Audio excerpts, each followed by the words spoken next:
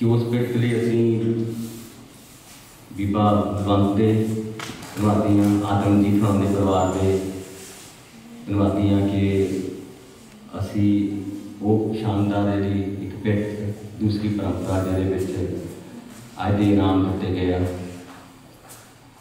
ਜਾਂ ਪ੍ਰੀਤਮ ਸਿੰਘ ਹੋਣਾ ਨੇ ਵੀ ਆਪਣੀ ਮਾਤਾ ਜੀ ਦੇ ਨਾਮ ਤੇ ਨਾਮ ਨਾਮ ਸ਼ੁਰੂ ਕੀਤਾ। ਸੋ ਇਹੋ ਜਿਹੜੀ ਪਰੰਪਰਾ ਹੈ, ਬਹੁਤ, ਇਹ ਪਿਰਤ ਬਹੁਤ ਖੂਬਸੂਰਤ ਹੈ। ਤੇ ਅੱਜ ਮੇਰੇ ਮਨ 'ਚ ਇੱਕ ਉਧਰੋਂ ਇਨਾਮ ਬੰਦ ਹੋਏ, ਤੋਂ ਤੋਂ ਬਾਅਦ ਜਦੋਂ ਫਿਰ ਸ਼ੁਰੂ ਹੋਈ ਤਾਂ ਮੇਰੇ ਮਨ 'ਚ ਯਾਦ ਲਾਈਨਾਂ ਆਈਆਂ ਸੀ ਕਿ ਇੱਕ ਦਰਵਾਜ਼ਾ ਬੰਦ ਹੋਵੇ ਤਾਂ 100 ਦਰਵਾਜ਼ੇ ਖੁੱਲਣ। ਇੱਕ ਦਰਵਾਜ਼ਾ ਬੰਦ ਹੋਵੇ ਤਾਂ 100 ਦਰਵਾਜ਼ੇ ਖੁੱਲਣ। ਨਜ਼ਰਾਂ ਨਿਖਰ ਜਾਂਦੀਆਂ ਨੇ ਜਦ ਸਿਮ ਕੇ ਹੰਝੂ ਡੁੱਲਣ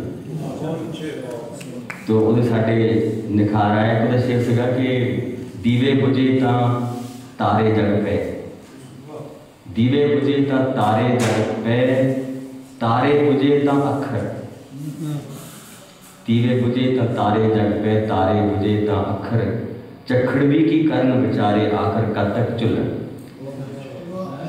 ਸੋ ਮੈਂ ਸਮਝਦਾ ਕਿ ਉਹ ਜਿਹੜੀ ਇਸ ਇਸ ਪ੍ਰਤ ਨੂੰ ਇਹਦੇ ਦੇਖਦਾ ਕਿ ਅਸੀਂ ਇਸ ਅਕੈਡਮੀ ਦੀ ਸ਼ਾਨ ਨੂੰ ਕਾਇਮ ਰੱਖਦੇ ਹਾਂ, ਇਸ ਇਸ ਪ੍ਰਤ ਨੇ ਸਾਡੀ, ਸਾਡੇ ਕਾਲਜ 'ਚ ਹੋਰ ਵਾਧਾ ਕੀਤਾ।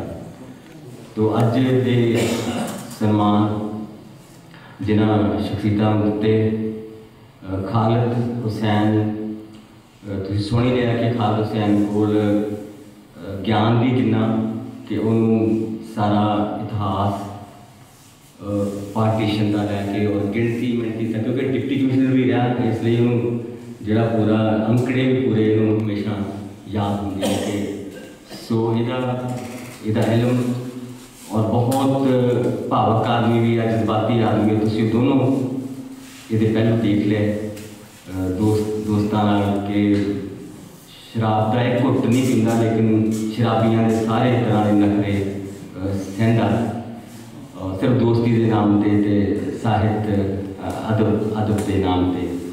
ਤੇ ਇਹਦੀ ਬੋਲੀ ਸੁਣ ਕੇ ਸਾਡੀ ਬੋਲੀ ਠੀਕ ਹੁੰਦੀ ਹੈ।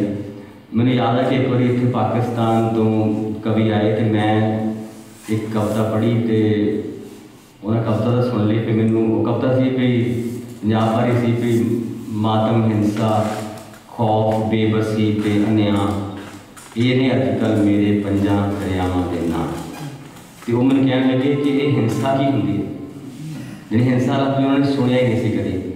ਕਿ ਜਿੱਦਾਂ ਖਾਲਦ ਨੇ ਕਿਹਾ ਨਾ ਕਿ ਵਕਤ ਆਉਂਦਾ ਕਿ ਸਾਨੂੰ ਅਨੁਵਾਦ ਕਰਨਾ ਪਊਗਾ, ਸਾਡੀ ਪੰਜਾਬੀ ਦਾ ਅਨੁਵਾਦ ਕਰੋ। ਸੋ ਉਹਨਾਂ ਦੀ ਹਿੰਸਾ ਲਫ਼ਜ਼ ਜਿਹੜਾ ਸਾਡੇ ਲਈ ਬਹੁਤ ਆਮ ਹੋ ਗਿਆ। ਲੇਕਿਨ ਉਹਨਾਂ ਲਈ ਹਿੰਸ, ਉਹਨਾਂ ਨੂੰ ਪਤਾ ਨਹੀਂ ਹਿੰਸਾ ਹੁੰਦਾ, ਹਿੰਸਾ ਲਫ਼ਜ਼ ਕੀ ਹੈ। ਉਹਨਾਂ ਨੂੰ ਫਿਰ ਸਮਝਾਉਣਾ ਪਿਆ ਕਿ ਹਿੰਸਾ ਵਾਕਈ ਅਨੁਵਾਦ ਅਨੁਵਾਦ ਕਰਨਾ ਪਿਆ। ਸੋ ਇਹ ਕਵਿਤਾ ਦਾ ਹਾਲ ਹੈ ਜਿਹੜੀ, ਫਿਰ ਸਾਡੀ ਆਲੋਚਨਾ ਉਹਦਾ ਕੀ ਹਾਲ ਹੋਗਾ ਜਦੋਂ ਇੱਕ ਹਿੰਸਾ ਲਫ਼ਜ਼ ਹੀ ਉਹਨਾਂ ਨੂੰ ਨਹੀਂ ਆਉਂਦਾ।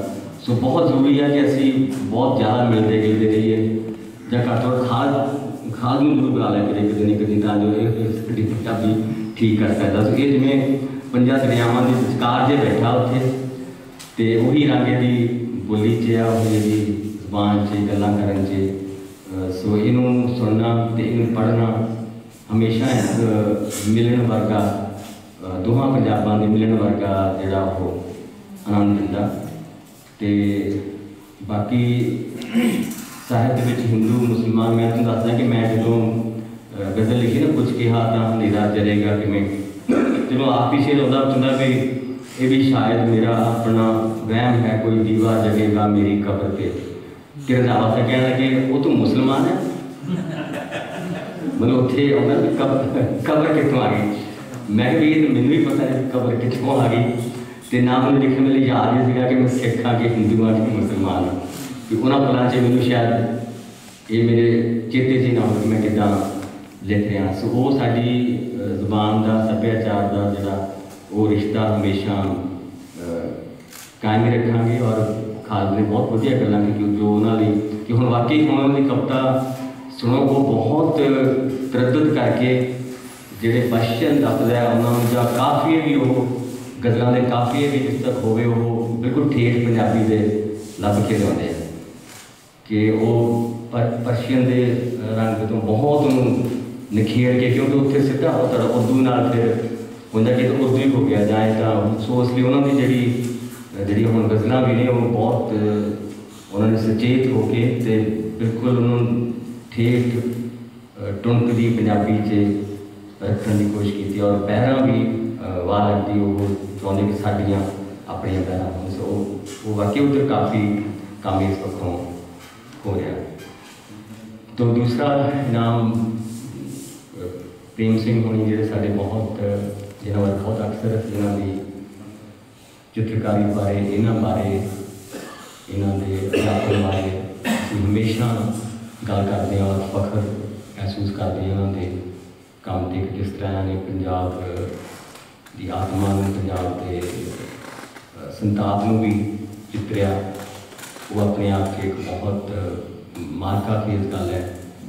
ਤੋ ਮੈਂ ਇਹਨਾਂ ਤੁਹਾਨੂੰ ਬਹੁਤ ਬਹੁਤ ਮੁਬਾਰਕਾਂ ਦਿੰਦਾ ਔਰ ਇਹਨਾਂ ਦੀ ਲੰਬੀ ਜ਼ਿੰਦਗੀ ਤੇ ਲੰਬੀ ਸਿਰਜਣਾ ਦੇ ਸਫ਼ਰ ਲਈ ਅਰਦਾਸ ਕਰਦਾ ਦੁਆ ਕਰਦਾ ਔਰ ਦੀਪਾ ਭਗਵੰਤ ਦਾ ਧੰਨਵਾਦ ਕਰਦਾ ਕਿ ਇਹਨੇ ਅ, ਪੁਰਸਕਾਰ ਸ਼ੁਰੂ ਕੀਤਾ ਔਰ ਅਮਰਤਾ ਇਮਰੋਜ਼ ਦੇ ਨਾਂ ਤੇ ਕੀਤਾ। ਇਹ ਵੀ ਬਹੁਤ ਕਮਾਲ ਦੀ ਗੱਲ ਹੈ ਕਿ ਇਮਰੋਜ਼ ਮੈਂ ਕਹਿੰਦਾ ਕਿ ਇਮਰੋਜ਼ ਇੱਕ ਉਹ ਸ਼ਖਸ ਹੈ ਜਿਹਨੇ ਪੰਜਾਬੀ ਪੁਰਖਾਂ ਦੇ ਮਨ ਤੋਂ ਇੱਕ ਵੱਡਾ ਆਰਾਮ ਲਗਾਇਆ ਕਿ ਜਿਸ ਤਰ੍ਹਾਂ ਅਮਰੋਜ਼ ਨੇ ਆ- ਅੰਮ੍ਰਿਤਾ ਦੇ ਆਖਰੀ ਸਾਲਾਂ ਵਿੱਚ ਉਹਦਾ ਸਾਥ ਨਿਭਾਇਆ ਜਾਂ ਜਿਸ ਤਰ੍ਹਾਂ ਉਹਨੇ ਸ- ਸਾਂਭ ਸੰਭਾਲ ਕੀਤੀ ਉਹ ਆਪਣੇ ਆਪ ਤੇ ਸੋ ਉਹਨਾਂ ਦੋਹਾਂ ਦੇ ਨਾਮ ਤੇ ਇਹੋ ਦੂਰਦਸ਼ਤਾ ਔਰ ਅਮੋਲ ਪਰਿਵਾਰ ਨੂੰ ਐਸੇ ਅਮੋਲ ਪਰਿਵਾਰ ਨੂੰ ਆਤਮਜੀਤ ਹੋਣਾ ਨੂੰ ਅ, ਅਮੋਲ ਪ੍ਰਤਾਪ ਇਨਾਮ ਦੇਣ ਲਈ ਚਾਲੂ ਕਰਨ ਲਈ ਬਹੁਤ ਬਹੁਤ ਮੁਬਾਰਕਬਾਦ ਦਿੰਦਾ ਸ਼ੁਕਰੀਆ ਕਰਦਾ ਸੋ ਇਹਨਾਂ ਸ਼ਬਦਾਂ ਨਾਲ ਅ, ਤੁਹਾਡਾ ਸਭ ਦਾ ਬਹੁਤ ਬਹੁਤ ਧੰਨਵਾਦ ਔਰ ਸਭ ਨੂੰ ਮੁਬਾਰਕ